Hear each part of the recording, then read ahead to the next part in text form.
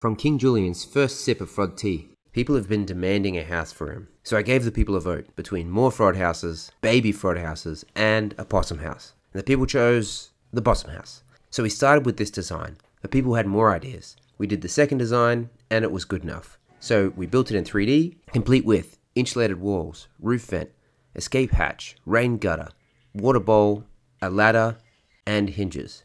Also, because this thing is too big for my printer, it's going to be a mix of 3D printing and wood.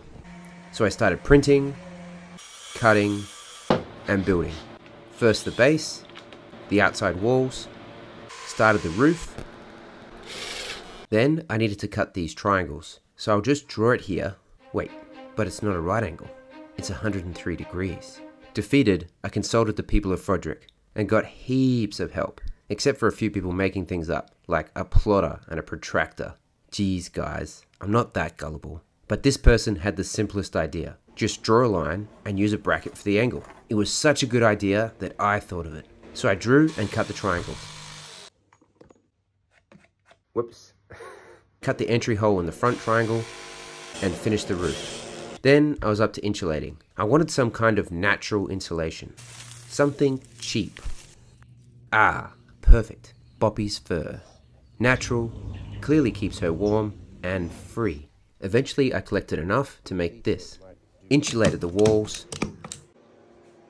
then the roof, attached the inside panel of the roof, installed the roof vent, which needed some persuading,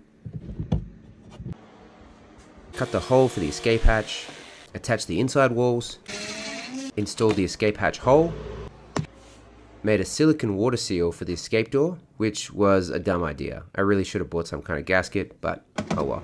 Attach the escape door, cut the edges for the roof and walls, and attach them. Cut the wood for the garden bed, and then glued it together. Glued the roof gutter together, and then attach that. Attach the roof flashings. Then I realized, because the house is so tall, the possums won't be able to reach the bottom on the inside.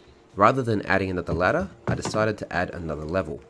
Then siliconed all the joins, drilled the holes for the water bowl and gutter pipe, then installed them both, cut the metal for the hinge pin, glued the hinges, attached the hinges, attached the ladder, added the coconut husk bedding, waterproofed the wood, and I was so close to being done. But I lost myself in a deep, dark abyss. House progress stopped. Days turned into weeks and weeks. Until, like a phoenix rising from the remnants of its own despair, resurfaced I did from the menacing void of my real job. So I cut the wood for the waste tray, attached that and the garden beds, and it was ready to install on the fence. I wanted to put it in a tree, but we don't have anything suitable in our yard. So we'll try here, and if the possums refuse to move in, we'll try something else. So that's it. We'll see what QJ thinks about it on tonight's live stream.